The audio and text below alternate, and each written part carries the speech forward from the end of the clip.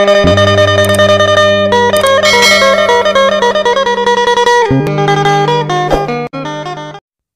สดีค่ะ บัวบุษบงสตอรี่ ยินดีต้อนรับนะคะ คลิปนี้พาทุกท่านไปนั่งรถไถ เพื่อตามหากวางกันค่ะ เราจะไปที่เกาะกระดาษหรือเกาะกวางนะคะ ซึ่งเป็นหนึ่งในอันซีนของประเทศไทยค่ะ อยู่ที่จังหวัดตราดค่ะ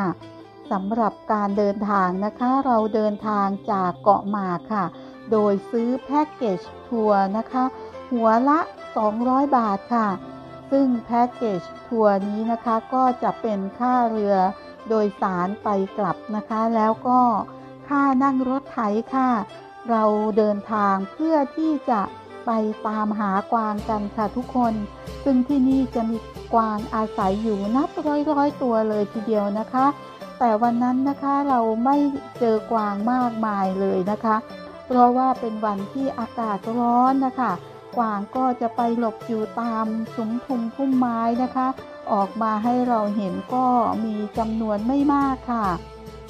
รถไถนำเที่ยวนะคะก็จะพาเราไปยังจุดที่น่าสนใจบนเกาะหมากนะคะ ซึ่งที่เรากำลังเดินทางมาตรงนี้นะคะ ก็จะเป็นจุดชมวิวที่สวยอีกจุดหนึ่งค่ะ กาะที่เราเห็นอยู่เบื้องหน้านั้นก็คือเกาะขายหัวเราะค่ะ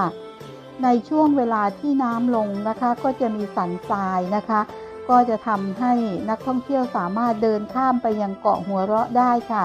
แต่วันนี้นะคะ น้ำทะเลหนุนขึ้นมาเต็มเลยค่ะ ก็เลยทำให้เราไม่สามารถข้ามไปที่เกาะ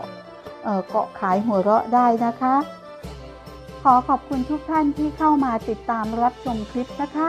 หากท่านชอบการท่องเที่ยวในแนวนี้นะคะ ขอกำลังใจให้กับบัวบุษบงสตอรี่ด้วยนะคะ กดไลค์ กดแชร์ กดติดตามและกดกระดิ่งด้วยค่ะ ขอบคุณมาก ๆ ค่ะ พบกันใหม่คลิปหน้า สวัสดีค่ะ